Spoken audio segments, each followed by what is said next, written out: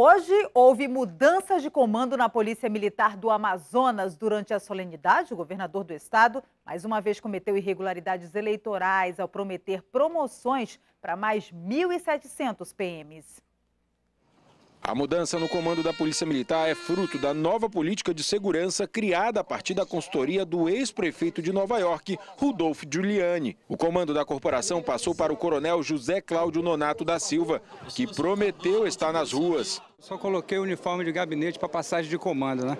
Meu uniforme mesmo é uniforme operacional e aí a gente tem que trabalhar com planejamento. Planejamento estratégico, vai ser apresentado esse planejamento ao senhor governador e nós vamos trabalhar sempre na questão do planejamento com é, é, nas, nas operações. Então, muitas das vezes a nossa tropa ela fica um pouco desorientada. Então, sem planejamento, nós não vamos chegar em lugar nenhum. A troca de comando foi acompanhada pelo governador do estado. Em seu discurso à tropa, Amazonino Mendes enalteceu as promoções que deu aos policiais militares enquanto foi governador e ainda fez novas promessas. E estamos nos preparando para fazermos mais mil, cerca de 1.700. Seriam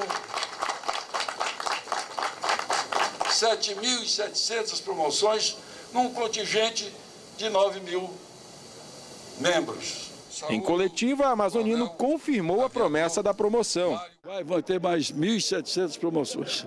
É, nós já promovemos 600 e agora temos que promover mais 1.700. Para esse especialista em direito eleitoral, Amazonino Mendes não poderia ter feito esse tipo de promessa, uma vez que é candidato à reeleição. Os agentes públicos, em período de campanha eleitoral, têm certas vedações que não podem é, fazer o uso promocional da sua pessoa, principalmente em período é, eleitoral. Desta forma, qualquer conduta que for caracterizada, vedada na legislação, será apurada pelo comitê e enviada é, ao Ministério Público Federal. O advogado, que é membro do comitê que fiscaliza a prática de Caixa 2 e corrupção na política, disse que o caso será levado à Justiça Eleitoral. A nossa produção entrou em contato com uma das juízas da propaganda do Tribunal Regional Eleitoral e ela informou que só deve se pronunciar depois da denúncia ser protocolada formalmente no TRE. E o prefeito de Manaus decretou situação de emergência por causa da falta de segurança aqui na capital e diz que pretende pedir apoio a instituições e órgãos federais. Só este ano foram registradas mais de duas mil ocorrências em unidades públicas municipais, a maioria assaltos. As imagens mostram a ação de bandidos armados na UBS do Zumbi, zona leste de Manaus. Eles rendem pacientes e funcionários e levam os pertences. Nesse dia eu não consegui dormir, né? Eu vendo aquela arma assim na minha frente todo o tempo e fiquei assim muito sobressaltada. Até hoje, quando eu venho para cá, eu venho assim com medo. Hoje, esta outra senhora, que também trabalha na OBS, foi assaltada. O carro dela foi arrombado e os bandidos levaram objetos de valor. Eu tô arrasada, eu nem quero mais vir para cá trabalhar. Eu não aguento mais, isso é roubado todo dia. De janeiro até as primeiras semanas do mês de setembro, já foram registradas pelo menos duas mil ocorrências em unidades de saúde, educação e assistência social. A Prefeitura decreta a situação de emergência. Nós vamos, através do decreto, coligir dados, relatórios semanais e mensais, enviá-los às autoridades, sobretudo da, do Ministério Público, e aqui eu me refiro ao Ministério Público Estadual e Federal, para que nós possamos, através das forças de Estado, adotar medidas que possam coibir essa situação lamentável de insegurança a que está sendo submetida a população de Manaus.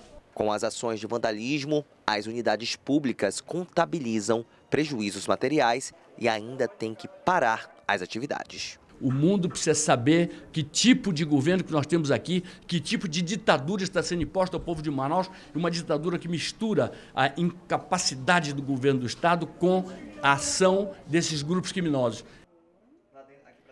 Aberta hoje em Manaus a feira da Fundação Amazonas Sustentável, no Parque 10, que comercializa dois peixes nobres aqui do Amazonas, o tambaqui e o pirarucu. Os pescados vêm de comunidades do interior do estado e são vendidos a preços abaixo dos de mercado. Confira. Hoje foi o primeiro dia de feira e estava bem movimentada. Teve gente que saiu com sacolas cheias Quem foi, comprou peixe com valores bem baixos do que são vendidos nas feiras tradicionais da cidade. Tinha tambaqui de vários tamanhos e vários cortes de pirarucu. É, hoje é o primeiro dia de feira, né? nós vamos ter aí até amanhã pirarucu para vender e tambaqui também. É, a gente delimitou uma certa quantidade para trabalhar hoje, nós estamos com, beneficiamos ontem 40 pirarucus, uma média de 500 quilos de tambaqui. Essas ações buscam estimular o crescimento e o controle dos estoques de pirarucu nos lagos das unidades de conservação, além de estimular diretamente o desenvolvimento sustentável do interior.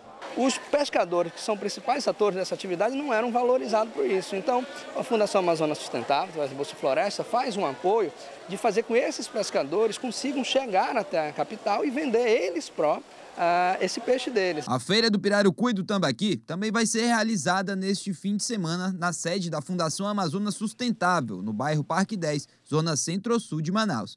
Mas quem for, precisa ficar atento aos horários. Senão vai ficar como o Cícero, que hoje não conseguiu comprar nenhum peixe. É, eu cheguei agora, eu tenho que pegar uma senha para amanhã.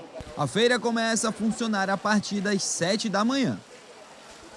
Amanhã tem mais, seu Cícero. O Jornal em Tempo desta sexta-feira termina aqui, mas você pode acompanhar também a nossa programação no portal Em Tempo, na nossa página do Facebook e no YouTube. Amanhã tem Jornal em Tempo ao vivo com a Márcia Lasmar. Um ótimo fim de semana para você. A gente se encontra na segunda, viu? Até lá.